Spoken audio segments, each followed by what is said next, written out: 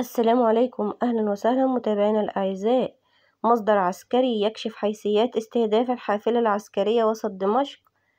كشف مصدر عسكري سوري تفاصيل التفجير الذي استهدف حافلة تابعة للجيش السوري وأسفر عن مقتل 14 شخص وعدد من الجرحى.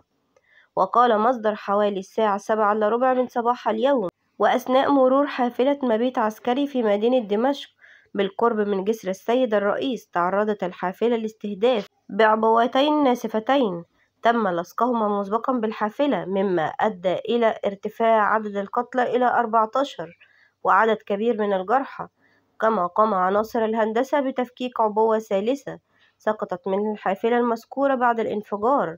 وبحسب مصادر محلية تم إعادة فتح الطريق من ساحة الأمويين باتجاه جسر الرئيس وسط دمشق بعد إزالة آثار تفجير الحافلة ومن جهته قال قائد شرطة دمشق اللواء حسين جمعة العبوة الثالثة التي تم تفكيكها من قبل الجهات المختصة كانت مزروعة ضمن مركبة لتنفجر أيضا في توقيت حرج منوها بعودة الحركة إلى طبيعتها.